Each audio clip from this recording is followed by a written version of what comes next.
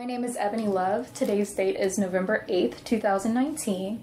I'm currently sitting in the law offices of McElwain, Martinez, Dukes and Hall, located at 108 East Central Boulevard, Orlando, Florida 32801. I'm here with Mr. Wilbert Vancol. Can you please spell your name? Sure. It's Wilbert, W I L B E R T, Vancol, V as in Victor, A N C O L. Okay, so I like to start this off a little interesting. Okay. Can you tell me your earliest memory? My earliest memory ever, my earliest memory ever must have been about four or five because I was still in Haiti and I had to, there was an entrance exam to get into one of their Catholic schools. And I have this vague recollection of sitting down for like this oral exam to try to get into school. So that must have been either pre K or kindergarten. That's my earliest memory. It's not concrete, but that's the first thing I can recall. Okay, so that means you were born in Haiti? I was not born in Haiti. I was actually born in Chicago, but I moved to Haiti at about six months, and I stayed there till about six years of age when I moved to Miami. Okay, and what year were you born? 1982. Okay, so you started in Chicago, went to Haiti, Yeah. and then went to Miami. Yep. So if you had to pick one city to say that you grew up in that city, where would you say? Miami. Okay. When you came up through the Miami school system, how was going to school in Miami? Was it I I liked it. Uh, uh, I went to elementary, middle school, and high school all in Miami. Basically, all with like I lived in the same house since I was six, so it's the same feeder pattern for the entire school system I went through. I, I liked it. I liked my experience there. I learned English through the Miami Dade school system, so I didn't have any complaints. Like I think you have the same sort of issues you have in any school. Uh, middle school was a gigantic pain just because it's middle school. Like lots of fights, lots of issues, but I didn't have any of those issues in elementary or high school. So did you grow up in predominantly black neighborhoods or was it kind of mixed? I grew up in an Orthodox Jewish neighborhood. I was uh, some combination of three non-Jewish families in the house over the like 12 years I was in on the block over the 12 years I was there. Like at most, I think we had two non-Jewish families, but it's just the neighborhood I grew up in. So when you went to school, did your school uh, composition demographics match your neighborhood? It did not, uh, because most of the since most of the people in my neighborhood are Orthodox Jewish, uh, they didn't go to public school. They a lot of them went to. Um, I guess there are a couple Jewish schools around the neighborhood that those kids went to. Uh, my elementary school was fairly diverse, um, just a good mix. And I think at, at that age, you just don't appreciate. It's not something you pay attention to as much. It's just you are who you are there. Middle school was almost was predominantly black. Um, and then high school was a really good mix. High school was probably the best representation of the community as as a whole amongst all of them. My high school really changed after the year I graduated because there was another high school that opened up my sophomore junior year, and some of the lines got gerrymandered a little bit. So the composition of my high school changed significantly after I graduated. And what high school did you attend? North Miami Beach Senior High. Okay. So while you were at North Miami Beach, did was there any professors or anything like that that stood out to you during your high school career that interest you in going to college or even pursuing a law degree? Uh, I was on the debate team. Uh, my debate coach, Merle Ellery, was probably the person that stood out the most. And I think, uh, one, he just had a passion for speech and debate, and I liked doing it. And he gave up his weekends. We gave up our weekends. We did it. But he took like a vested interest in, in the students who were part of the team. And I think that's what motivated me. It's not, I don't think it's what motivated me to go to college. Um, but it's what pushed me because you were we're competitive academic dorks. If there's, I, I think that's the best way to describe it. So you're competing against other people who are high achievers in an academic setting. So that translates to the classroom. What kind of topics did you debate? I was involved. It's called extemporaneous speaking. So I did uh, foreign extemp uh, predominantly, and what that entails is you'll get three random questions uh, about some global event, um, and then what you'll have to do is answer that question. Um, let's see if I can think of one. I, I wouldn't even know one currently. Like, like it would be something. Wi- how does the Central Central American immigration crisis into Mexico impact the global economy? And then you'd have to answer that. And then you'd have to outline your reason. And the way it's set up is you would have 30 minutes to prepare your answer, which is a seven minute speech you then deliver. So that's what I ended up doing predominantly.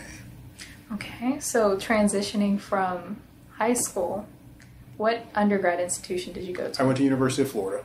And what made you decide to go to University of Florida? I wanted to go to University of Florida since I was seven years old.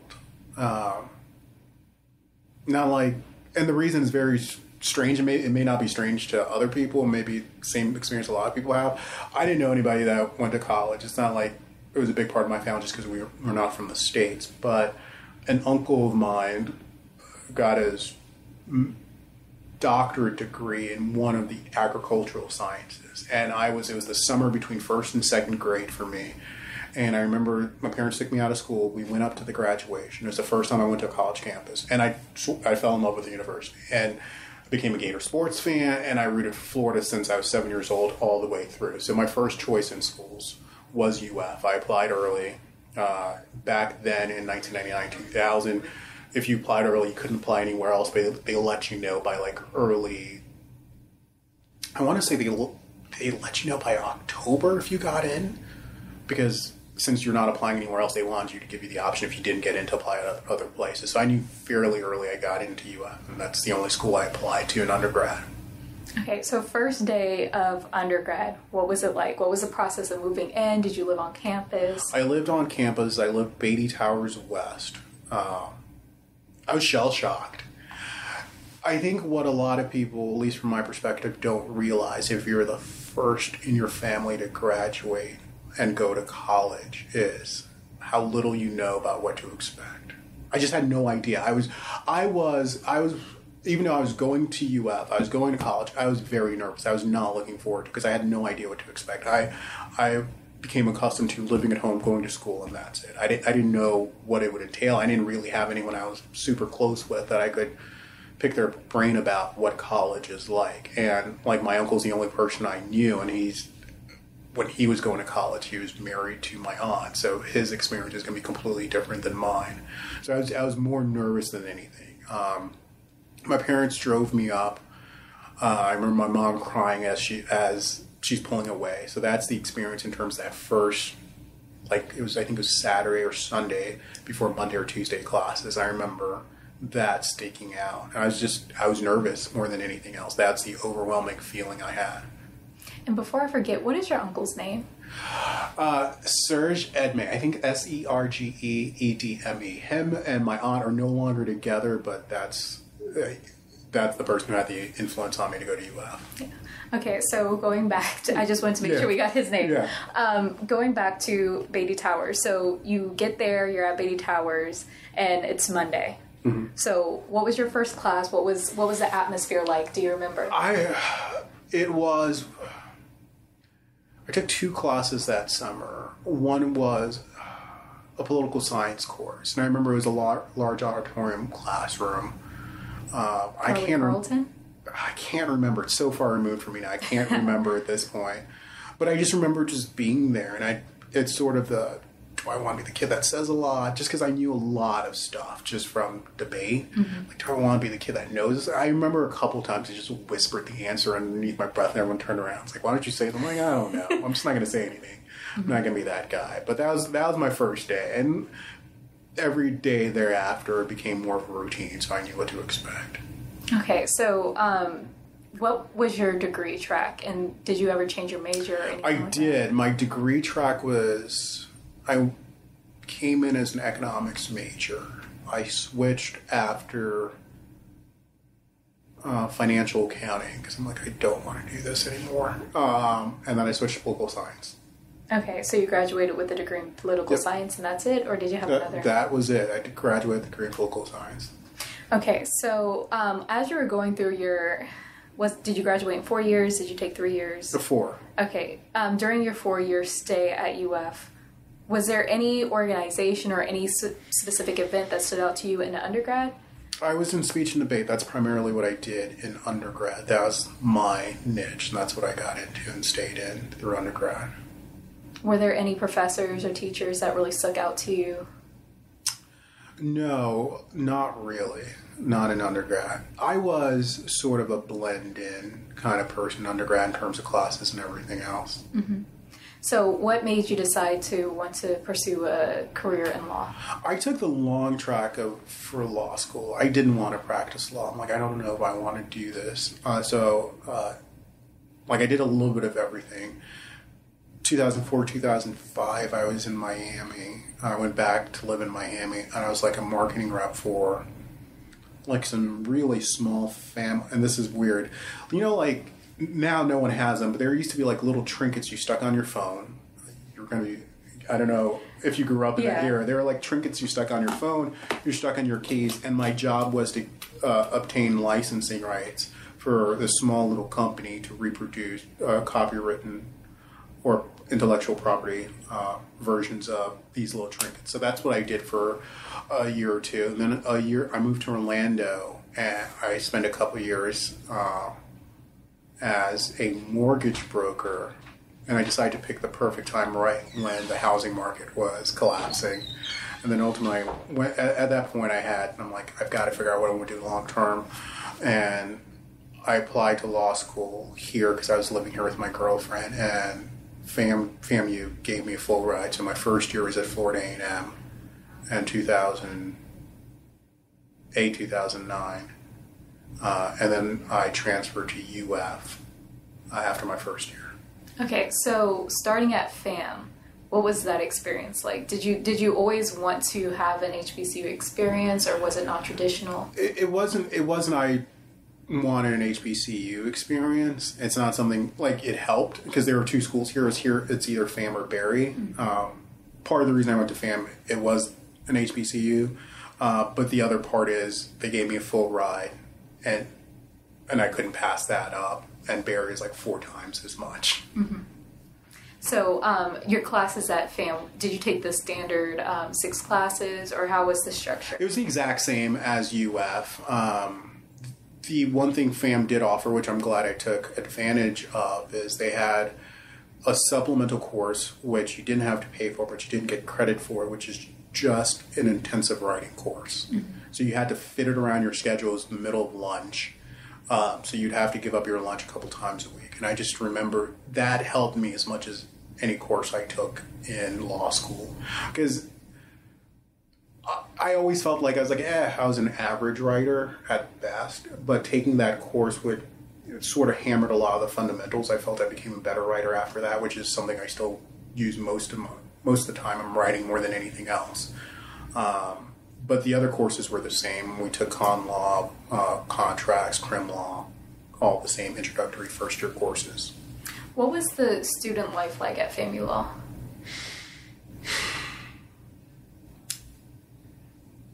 Uh, I'm trying to compare it to UF Law. It, it's different than UF Law because FAM was about 50 50 uh, in terms of the breakdown of African American students and non African American students. Um, I like the student life. I think a lot of, like, I just got along with the people there. Like, all of us were sort of in the same boat, so it just, just got along well. Did you have a sense of community at FAM Law? Yes, yes, very much so, very much so, and and I guess the community wasn't defined by whether you're black or not, just because there were so many black people there, and from someone who went to a predominantly white institution for undergrad, like you sort of.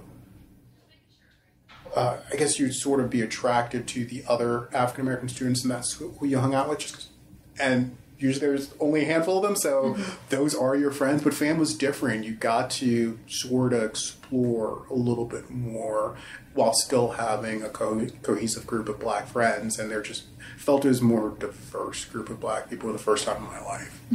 So the reason why I ask about sense of community is because when you were talking about your undergraduate experience, it kind of seemed like um, it was kind of a flyby type of thing. Yeah. Were you involved in any organizations, or did any group call out to you when you were undergrad versus law school? No, uh, not really. Um, I, I honestly, it, I, I love UF and I love going undergrad at UF. I, I am a Gator through and through. But my undergrad experience, I was just there. I was just there. I was just there. Um, I don't know if it's the size or what, or like if, and if we're also being honest, I was just a much better student in law school. Okay. Like it meant more to me in law school. I had a hard time finding my center in undergrad just because it was the first time I was away from home. No idea what to expect. It was, in hindsight, it. I should have taken advantage of like resources or anything else in undergrad. I just didn't. I didn't. I didn't. So I just sort of blended into that point. Would it have like was there anybody who tried to reach out to you, or would it have helped if somebody kind of saw and tried to invest into you, or would you have just pushed that away?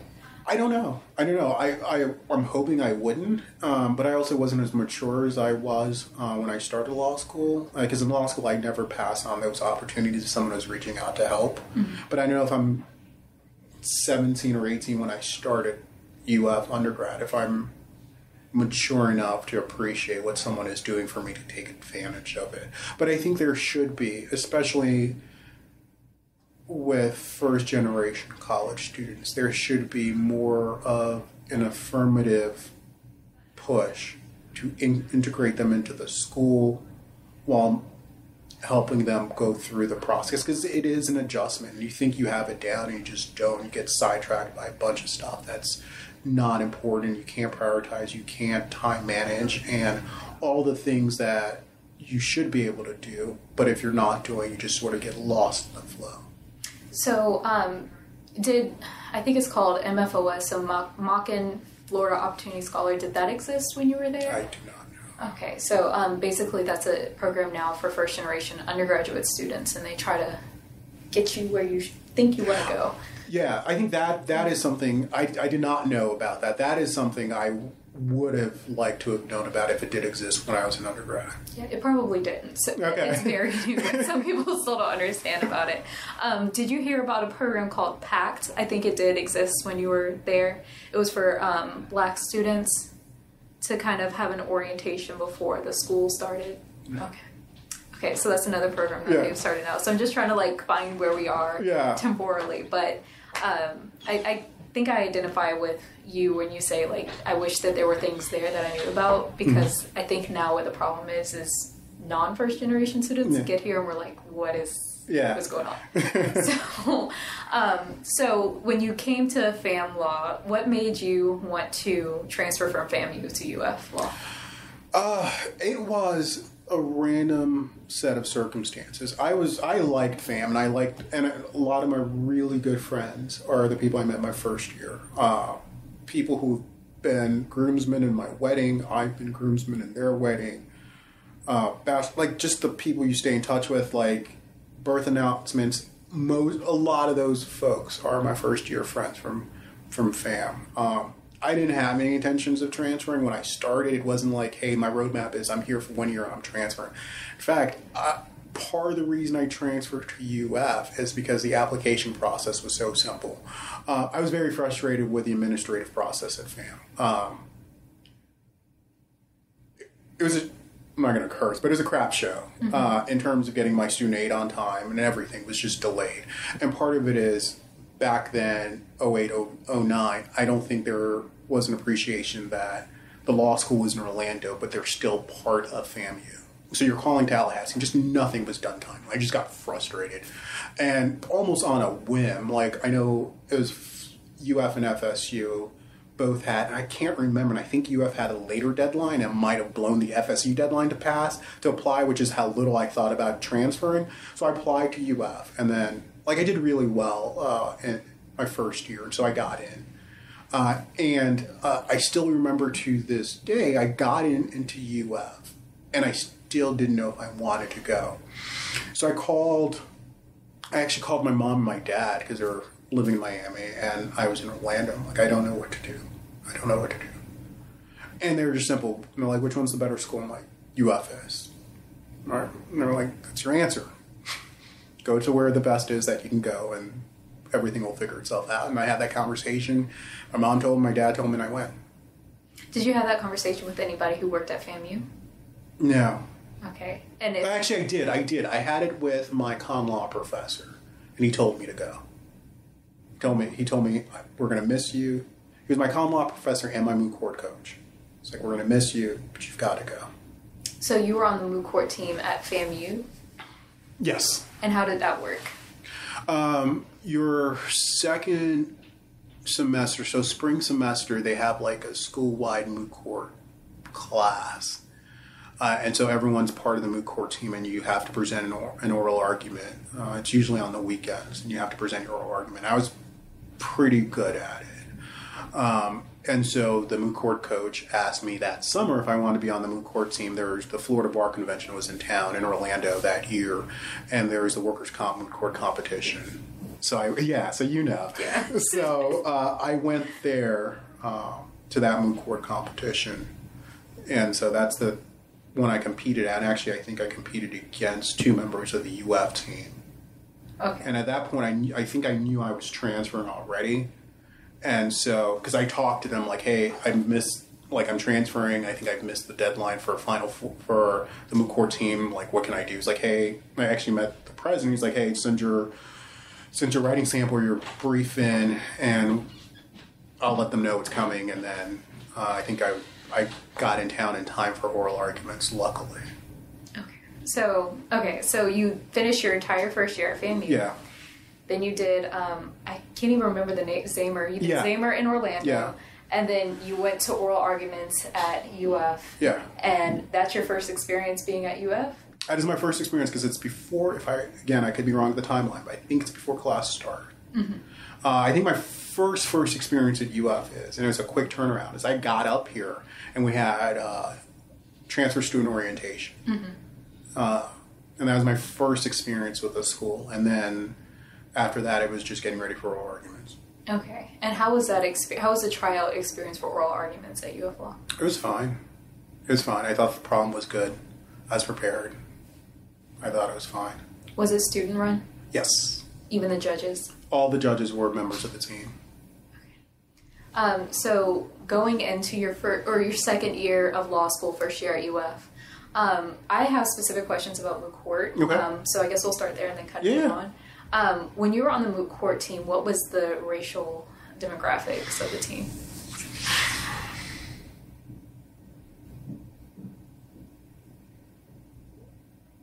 I'm I'm thinking. I'm trying to remember. Brittany was. Yeah, I I'm pretty sure I was the only black person on the team. Because I, I, know Brittany joined, but I think Brittany's a year younger than me, so she would have been the year after I I joined. Yeah, I, I'm pretty sure I was the only black person on the team. Is that a historical trend from what you know? There being like one, two, or three. Yeah, yeah. I don't remember. Like, I remember. I think it was Brittany and someone else. Uh, when I was a three L and she was a two L, and I think Brandon White the year after I graduated because I still knew him. I think he was on the team, but I don't think there was any other app or any app other black people on the team or African Americans on the team. Yeah, it's usually maybe a couple. Did that make you feel ostracized or anything? Not really, only because uh, when I did high school debate, um, most of the people I competed against were were white. Most of the people on the team were white. Um, when I did college debate, most were white. I had like or two or three black people on the team. I sort of used to it. Like fam was the exception, where it was like this really eclectic blend of people from diverse backgrounds who were on the court team. That was the exception. That was not the norm for me on on these teams. So I, I wasn't really thrown off. And I think part of what helped uh, Rob Davis, who ended up being president uh, my 2L year, who I met when I was at the workers' comp competition, he was just super inviting. Like he went out of his way to make sure, I applied and I tried to join the team. Um, so Rob Davis, what was his background? Was he he was a 3L when you were He was a 3L when I was a 2L. He skinny white guy from Ocala. so he was Floridian. yeah, he's Floridian. I'm actually still really good friends with them. Um, like I like he lives in Winter Park. He works downtown. I think he's uh, he's not at Baker. I think he's at Holland & Knight now. Just a good guy. Like he his wife, good friends with my just I've known him for a while, just a good person. That's how I met him. And when you were on the moot court team, did they focus on specific issues or like specific competitions? How was how was the composition of the team and what competitions did y'all do? Um, I remember I was getting ready for Final Four uh, fall semester. So you were a Final Four member. Yeah, I was Final Four member. Um, that was a cool experience. Uh, and then I want to say spring semester, I asked them so I can compete in the BLSA moot court. So I didn't. I don't think I competed with the team like two L year. I think I competed with the team three L. I definitely competed with three L year. Like I know I did ABA. I'm trying. I want to say I did something else, but I may have just done ABA regionals, the nationals, which is odd. Like I like I, I may have. That's. I think I only did ABA then. That, that sounds right. that sounds very similar. Okay. Um, when you did the BLSA moot court, um, were they were they um, was the Florida moot court team very supportive Yeah. or Because I told them I was I was going to do BLSA. Because I think they asked me to do there's a there's a tax moot court around the same time. I'm like I want to do BLSA. So I want to compete there. And so we did the BLSA moot court, which was in New Orleans that year. Or was it LSU? I think it might have been LSU. We just ended up going down to New Orleans one of the nights. So and how successful were you? uh, frustratingly unsuccessful. Uh, I rarely, rarely say this, and I and I try to be as reasonable and rational when it comes to outcomes. I definitely thought we did better than what our scores indicated. I thought we did fantastically well, and I thought we won every round we're on, and no, none of the judges agreed with us, and so it was what it was. But we, I competed with a couple people who weren't on the moot court team, so they had they had a good experience with it, and that was it. Interesting. yeah. Um, okay. So, um, did you ever end up having a leadership position with moot court? Yes. Um, I think I was one of the intramural captains or intramural co-captains or something like that. And how was that experience? It was fine. It it was a good leadership position. I like I did well in moot court, so I think everyone. It's one of. I think it's an egalitarian sort of organization. If you're good, you're good, and, and people sort of respect that. Um, like so, I I did Final Four. I won Final Four, so I think that got me some respect, even though I'm just a transfer kid, because you never know how people view transfer kids. UF has a reputation, so uh, so I did Final Four. Um, do you mind if I take this call? Do you mind pausing? It's my mom. It's okay. okay. Um, you're talking about the reputation um, UF has with treating its transfer students a little bit. Yeah, may, maybe uh, I internalized it, but you just sort of feel like everyone's like, eh, uh, were you you weren't good enough to get here first time around. Like I don't know, maybe I've just internalized and no one expressly or outwardly said it. So I kind of had a little bit of a chip on my shoulder when I first started, but after first semester, I was fine. Um, so when you got to UF, um, how were you able to kind of d- jump in and feel like you were included in the community at UF, or how was that? Yeah, because I don't want to. I know it's Kim Thomas. I'm 100% certain, but I just want to make sure. Uh, let's see.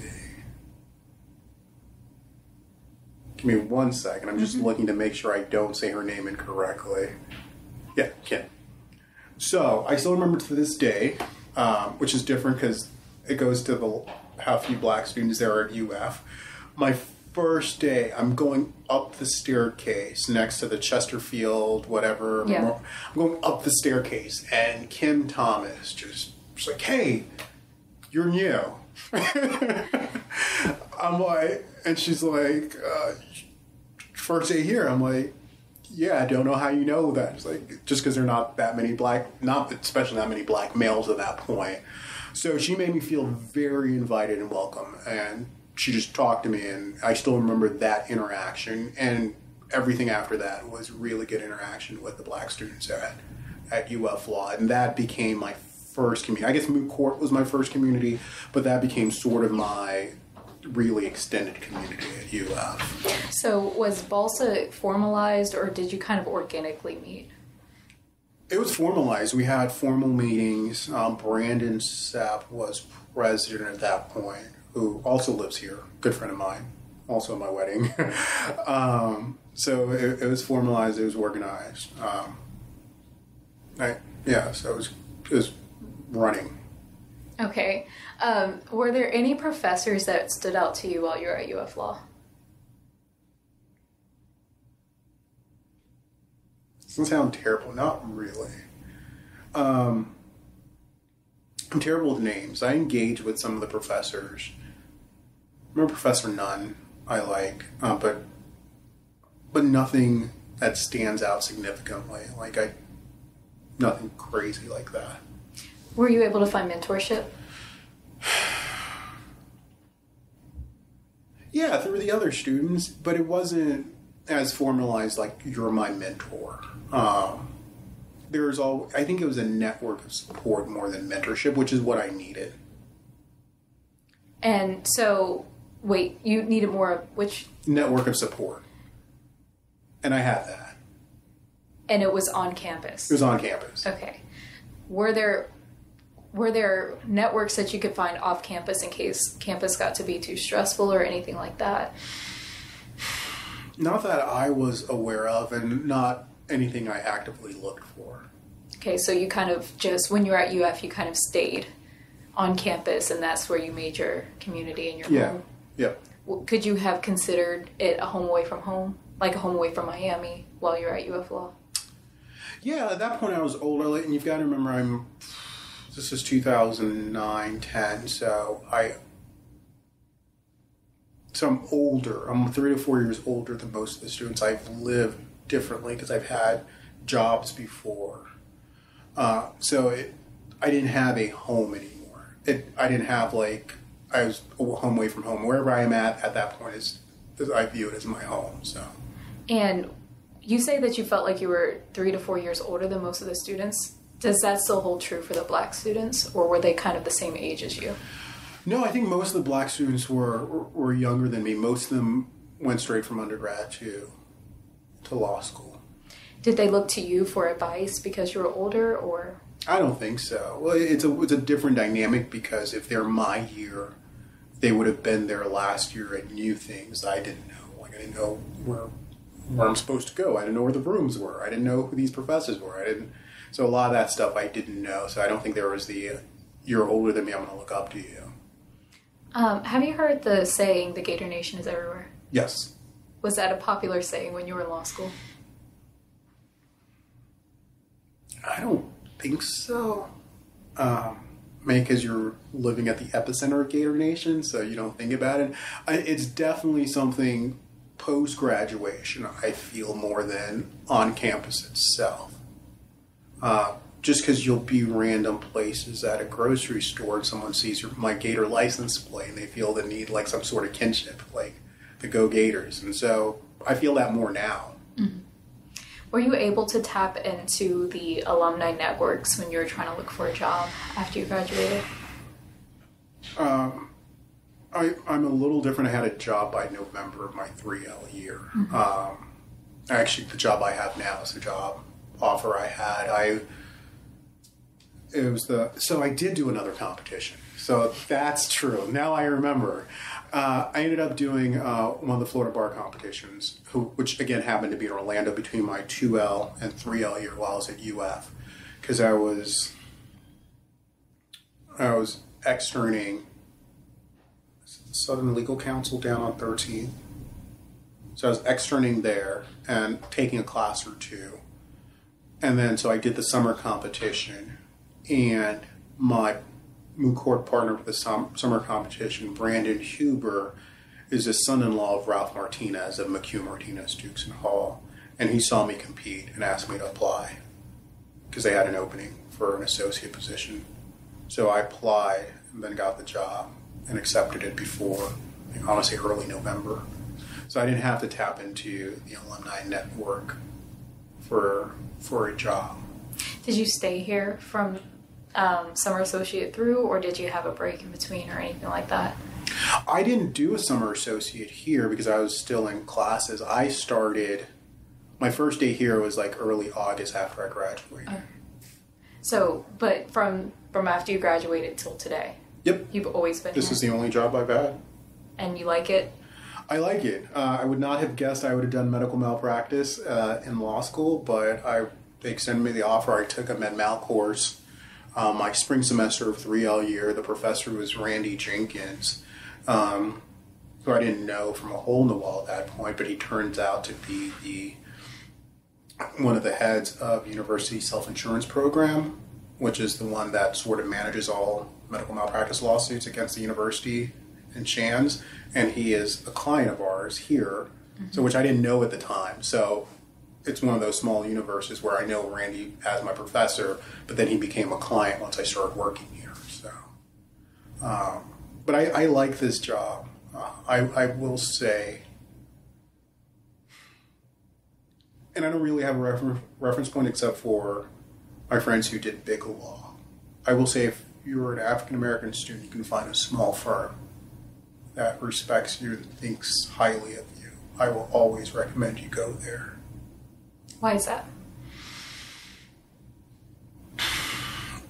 because you don't get lost. Like you are, I am, I'm an important cog into this wheel. Because there's just not a lot of resource. We have nine attorneys, a bunch of cases, so everyone has to carry their load. So they invest in you to do well, because it takes a lot for you to get to a point where you can, where I'm at this point I can manage my cases by myself. And so they've made that investment. They want you to stay. Um, and I know oh, my friends who go who've done big law, they like it. I, I, I don't think they have that sort of bond with the place they work for. When you were at UF, did you feel like you were a part, or did you feel like, if we're thinking about law firm and like we're thinking about UF as an institution, the law school, did you feel like UF felt like a big law firm or a small law firm? Small. I, as much as I felt disconnected from the university as an undergrad, I felt equally connected in law school. And how?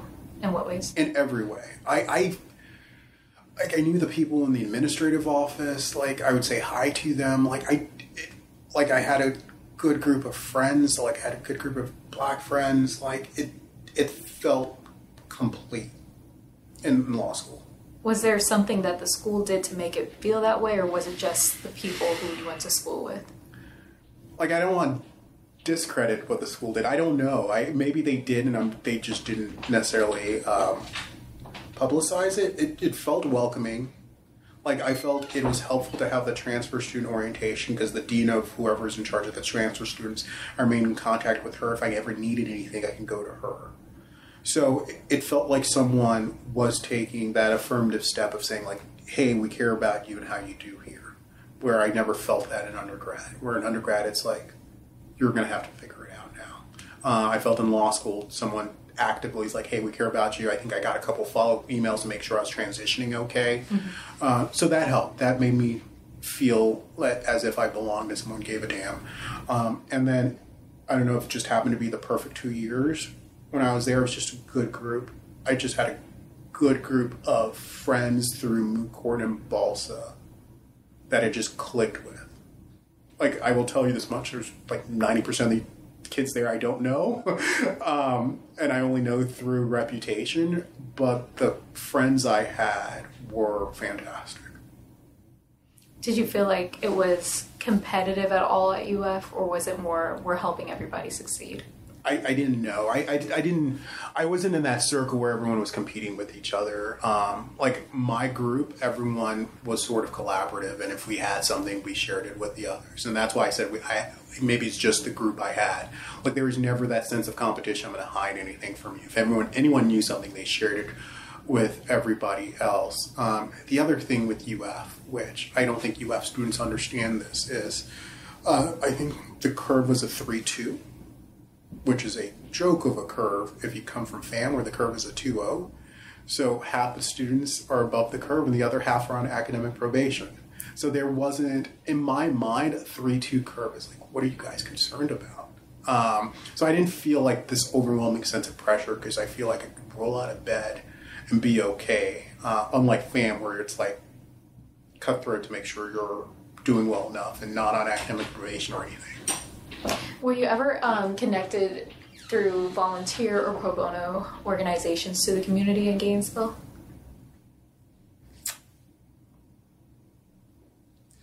The only one would have been when, like I know BLSA had a couple events. I can't remember them. Nothing where I felt like overwhelmingly connected to the community.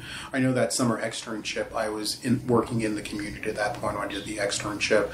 But a lot of the stuff they did, like I did at least, was a lot of legal research, writing, and I think the case they were working on when I was there was. Uh, either an appeal or a challenge to a Tampa ordinance about the homeless. So I don't think I necessarily connected to the community a great deal outside of the community that is the school. Um, is there anything about your experience at UF Law that you really that has stuck with you, either positive, negative, or anything like that? Yes, um, just because my background is a little different. Like I didn't like my parents are very immigrant type of parents where they're very like books, everything, all books, all the time. Um, and like my circle friends were predominantly white. My circle friends in undergrad were predominantly white. Um, but the thing that stuck out in law school was it was the first time I had a circle of black friends who were actively trying to make sure we all succeeded. Like there was not the slightest amount of competition in my mind amongst my circle of black friends. And especially since there were like five black males my year, I think that that were there. So we all looked out for each other. Um, did that continue uh, after you? I don't know. Have you stayed connected with the Yes. school since you've graduated? Oh, with the school? Yeah. Just through like giving and fundraising, Mm-hmm. um, but not where I've been back on campus. Because the reason why I ask that is because I don't know if we could say the same that that same spirit exists. Really? So I'm like, where could we find the disconnect? Because it sounds like there was never a disconnect when you were there. I don't know because here's the crazy part. So, uh, Brandon, I told you who was president of Balsam my two all year. Br- uh, Brandon Sapp, Brandon White, Solomon, who actually went to U, uh, to went to FSU, but was at our school for one summer because I think he was doing some summer program with our school. Um, Farhad, Lawrence, who graduated my year as well. Like the five of us ended up in Orlando and like we had we made it like a black balsam male dinner every month or two where we just met up like unfortunately solomon's moved to atlanta brandon white's moved to miami but we still stay in touch communicate via text message oh and jonathan blocker who was like a year or two ahead of me like we all just had dinner we met like we lived in orlando like we tried to stay connected so i don't so i don't know if it's the students who were actively making sure that worked because I don't know how that I don't know why there is that disconnect, especially if, when there's only a handful of you and your your success, I think, is everyone's success within that small group. Were your students, like the students who you went to class with and yourself, were you highly involved on campus or were you just involved with moot court and that was it? And like go to BLSA meetings? Uh, moot court and ball, so that was it for me. Uh, like I didn't feel like I needed anything else. Like I had those two, and I and I had school, and that that took up my time, and I think that was an efficient use of my time. And then the people, um, the five or four other people that you just named, were they heavily involved or? Brandon was. Brandon was. Brandon was Mr. Everything. Um, Brandon Sapp, that is. Uh, what's the organization that's in charge of financing student run organizations? It, oh wow! It used to be Jumba, John No, Marshall Bar no. Association. He's in, he was president of whatever that organization is. Uh, student Leadership Council, something, whatever. It's changed. Uh, yeah. Now it's the Student Bar Association, um, but there was something before that, and I don't know. Yeah, he was whatever before that. He was, I think, president of that. He was president of BLSA, like I said, my uh, 2L year. So he was very, very active in like that aspect of the of the university or the law school. The others weren't. The others were like primarily through BLSA and then their separate organization. They, each of them, I think, had like one organization and BLSA, and BLSA was sort of like the center for all of us. Were there any events that BLSA did that stood out to you? There are a couple of speaking events. Uh, like I know, like I remember I received a scholarship from an alumni, um, and I and I have the name on the tip of my tongue because I his daughters. He passed away. His daughters, one's in Tampa, West. I saw. I know what scholarship Yeah. you're talking about. I don't know the name though. Yeah, he was and a I went- judge. Yeah, and I went to their golf tournament down in Boca like the year or two after I graduated. Um, I remember that the daughters came to speak, and I thought that was a very impactful presentation. And I think it was just that. I think it was the student body, a sense of camaraderie with BLSA that stuck out. Nothing like in particular one event that stuck out more than the others. I think it hurt one of the the daughter that lives in Tampa is Monica Yes, Harris Williams or Williams Harris. yes, yes. And it yes. was her dad, um, but I cannot. I, as soon as I remember that name, I'm gonna Is say it Gerald Williams? No. I can't remember. I can't remember. I'll, I'll think about it. it's in my email. Yeah. Okay, I know exactly what you're talking about though. Um, so you graduated from UF Law. Mm-hmm. Did you ever like? Was it an easy transition from UF Law, the bar exam, to here, or I don't think. I think anyone that says it's easy is not being completely honest. It wasn't overly difficult. I studied. I studied hard for the bar exam. Um, I was on campus, and one of the good things about being court, you have access to the court office. So while everyone was super stressed out in the library, um, I was able to just go in the court office and sort of have free reign to get prepared for the bar exam. So that made it a little easy. So I didn't have to deal with the stress from other people influencing me. So I studied, took the bar exam, uh, waiting for the results. I started working here. I think the most nerve wracking part and you things just sort of stick out in your mind as you get older. And I will never forget this is when I found out I passed the bar exam. We had a trial here in Orange County. It was like a like a four or five week medical malpractice trial, and I jumped in like two weeks in, and my job was basically just sit in the courtroom. I was just a gopher at that point. Um, and Brandon Huber, who is my moot court partner, who's the son-in-law, apparently text Ralph like, "Hey, bar results are out," and Ralph at the desk, like while this trial is going on, turns around, is like, "Bar results are out. Check your phone." I'm like, like, are you serious? And then it's not just our firm; it's like the four other med mal firms. There's only a handful of firms that do med mal, are all in the courtroom. Like, really, this is just like my hand is shaking, trying to find my name and see if I pass. So I remember that. Um, and then I started working, and I was working here. The transition here wasn't too difficult. Um, you just have to make yourself useful. And the one thing, like I said, the one class I told you about, that legal writing course, I made myself useful. I'm a good writer, good researcher. I just am. Um, they started trusting me. They started trusting me with brief writing really early on. Like I would just handle the appeals. And I remember, I want to say it's either first or second year. It was a petition for writ of certiorari relief, where we argued it was sort of a novel argument of what's a healthcare provider because if you don't do med mal law, it's kind of like it's this sort of Byzantine statutory system.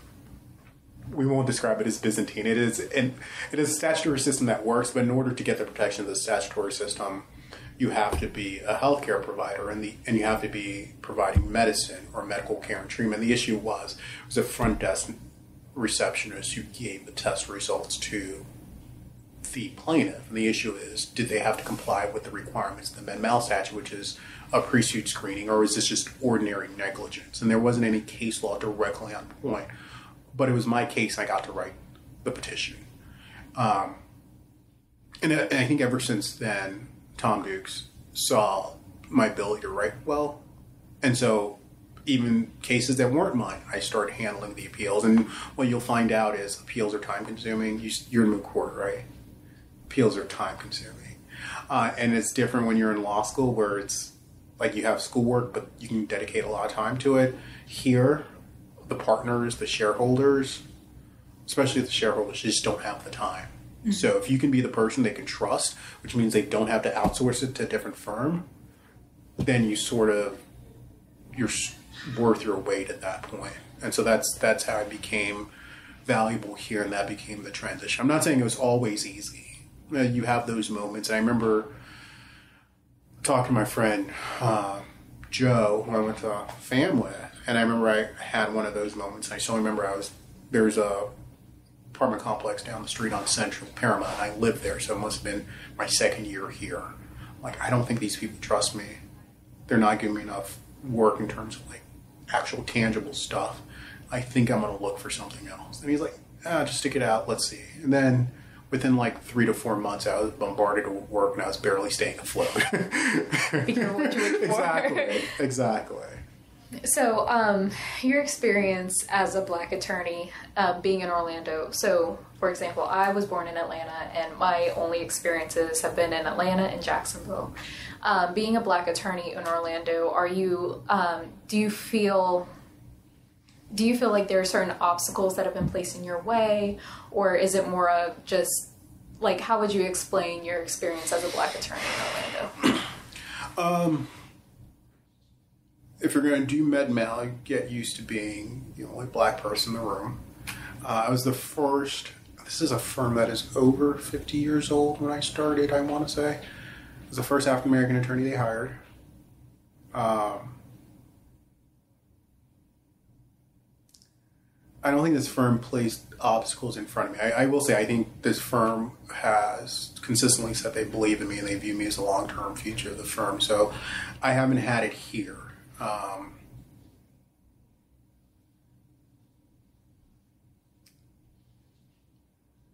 the places you'll receive it. This is Orlando's very good old boys. I think it's changing a little bit because I think that generation is retiring, but they all know each other. They all know each other's dads. They all know. They all they all know each other, and you've just got to be comfortable with that. And sometimes it works against you, but you just got to overcome it. But I think that's transition. You're getting a lot of younger judges, and sort of like you're somebody's somebody's your pappy doesn't matter as much anymore. I think in the last few years, uh, just because that generation is sort of retiring, like I said. Um, there aren't many overt obstacles that I've seen placed in front of me. You get the disrespect, and and sometimes you don't know if the disrespect's because you're young, because you're black, or because both. Um, so you get some of that, but the one good thing, again, working in a small firm, working in a niche legal community, you know everyone. Like I pretty much know every med mal defense attorney in the Central Florida area, just because there are five firms that do it. It's not something you just jump in and do. It's not. It's not like the plaintiff side where there's so many plaintiffs attorneys. Um, on the defense side, there just aren't that many firms because there are only a handful of insurance, uh, professional liability insurance carriers in Florida. And there are only a handful of them that give work to a handful of firms. So you all sort of know each other. So I don't think I've had a lot of those obstacles just because I've been fortunate enough to end up in a firm, even without a history of hiring black people, that's been really receptive. And I've been fortunate enough to work in a niche portion of the law where even though you're a bunch around a bunch of older white people, your interests are aligned with theirs most of the time.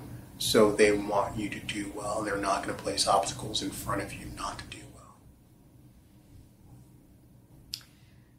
So, um, that was a lot. um, like a lot in a good way. So, when you look at kind of how you've gotten here, um, is there anything that you would like to encourage or say um, to advise a student who is at UF Law who is thinking about practicing either in Orlando or um, anywhere really um, that you could give to that speaks to your experience or to something that they may experience? Yeah, I, I will say before you even leave UF Law, I will say find that, find your circle, find your circle of friends, and hopefully it works out. You guys all end up in the same city or near each other. Find that fellowship because that helps. Because there are moments of, you have moments where you're just not certain. Uh, you're not certain your abilities, you're not certain your future, you're just not certain.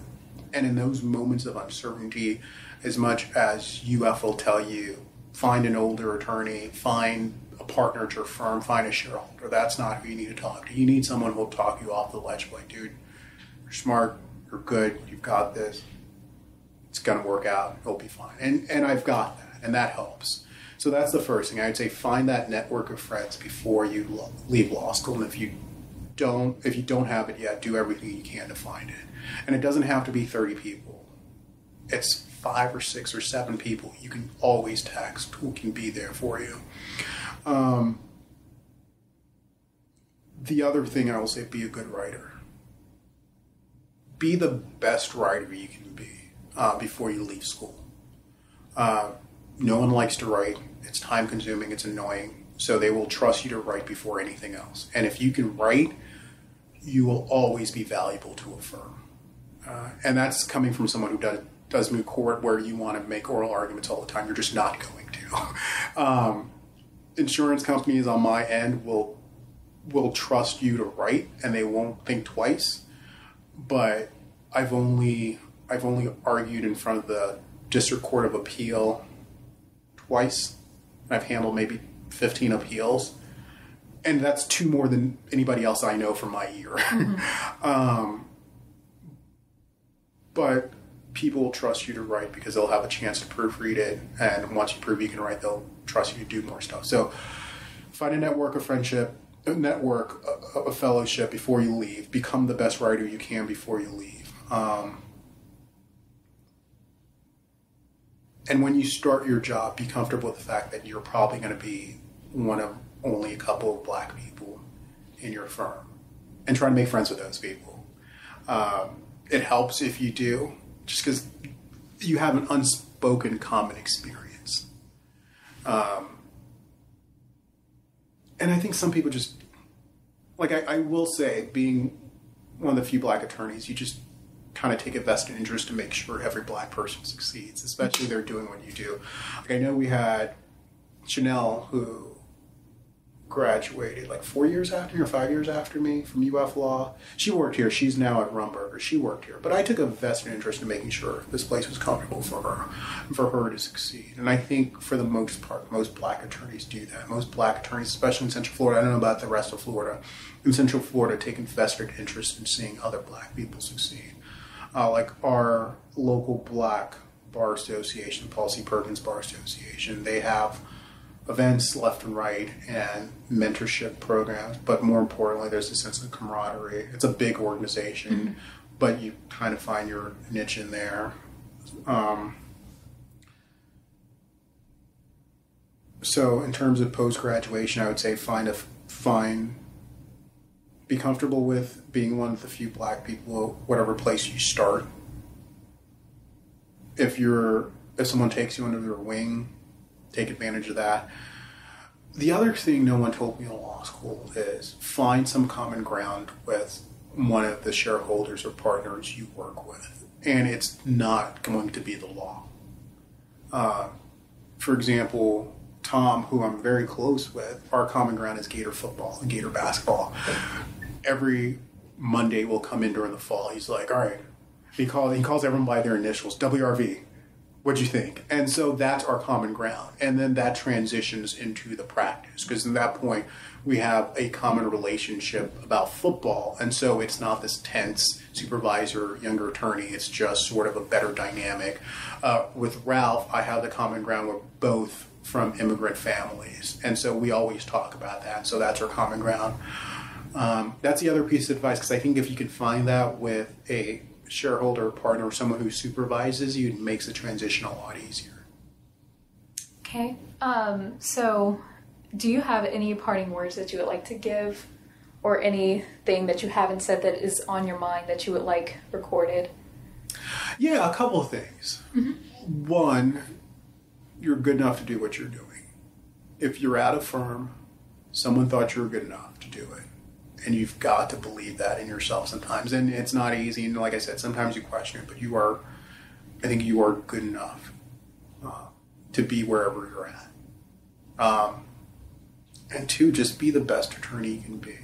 Like be the best attorney you can be. And it, it's it's sort of trite, but like wake up every day and be the best attorney you can be. And I think my like what I always say is I every day I want to say at the end of the day that I was four things. I was a good father, a good husband, uh, a good Christian, and a good attorney. So those are the four things that matter to me in my life right now. And so, like every day, just like maybe it's three things. Maybe you're not religious. Maybe you're not married. maybe it's two things. But just be the best you can for those two days, and I think you'll be fine. And I think we have, at least from what I've seen, I am optimistic in terms of what I've seen amongst the black attorneys I'm with. I'm optimistic that the future is bright, at least in my small little Central Florida community. Okay. Well, thank you for those parting words and thank you for your time today. And that concludes our interview.